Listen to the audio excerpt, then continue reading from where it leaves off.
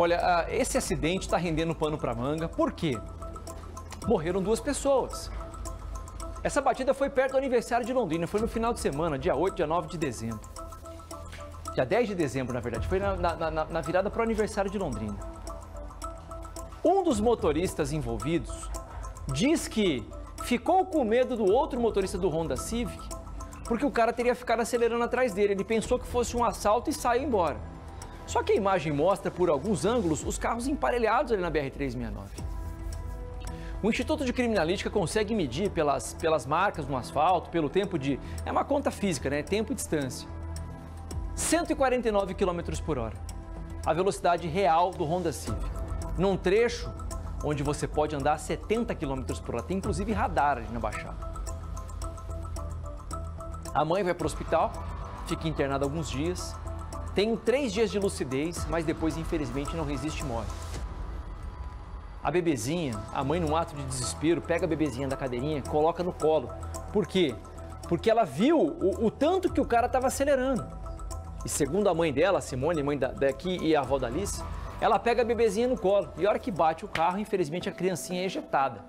30 metros de distância. Ontem a Simone, a avó, deu entrevista para o Wesley. Uma entrevista muito emocionante, muito impactante.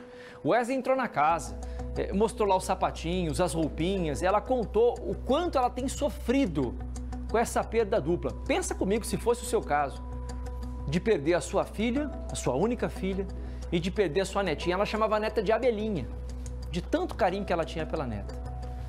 Depois de dar o depoimento para o Wesley, ela vai para a delegacia. Hoje ela foi ouvida pelo delegado. E eu quero saber, Wesley, ela foi convocada, ela foi por conta própria? Me conta aí o bastidor dessa ida dela na delegacia, Wesley. foi justamente por conta da repercussão da nossa entrevista aqui na RIC TV. E tudo que ela disse na entrevista, ela já estava tentando falar para o delegado há algum tempo. E agora, então, ela relatou aqui na RIC TV e depois houve essa importância para o inquérito, que essa fala dela fosse oficializada no inquérito da Polícia Civil. Então, houve esse convite, ela foi até a delegacia, prestou esse depoimento num trabalho de jornalismo sério aqui da RIC TV, também demos o espaço para esta avó e ela trouxe detalhes importantíssimos né, Parra? Inclusive que a filha teria ficado acordada em alguns momentos e contou para ela como tudo aconteceu. Foi esse relato que ela deu para o delegado.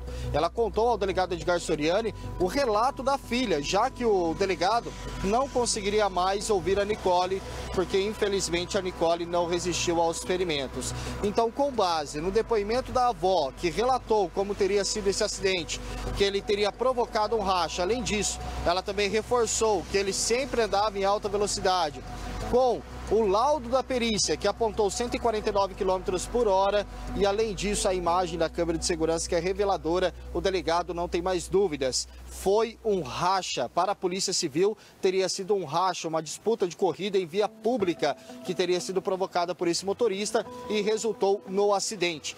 Diante disso, os dois motoristas devem ser indiciados. O inquérito vai ser concluído até o final desta semana. Vamos ouvir o delegado Edgar Soriani falando sobre o depoimento da Simone, que é a avó da Alice, a mãe da Nicole, e além disso, sobre esse entendimento dele, a opinião do delegado foi um racha. Vamos ouvi-lo.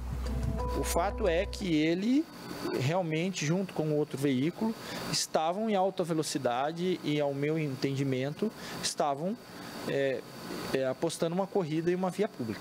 A outra parte que foi identificada alega que achou que era uma tentativa de roubo. Porém, ele não registrou esse fato, ele não ligou para a polícia. Após o acidente, ele não procurou.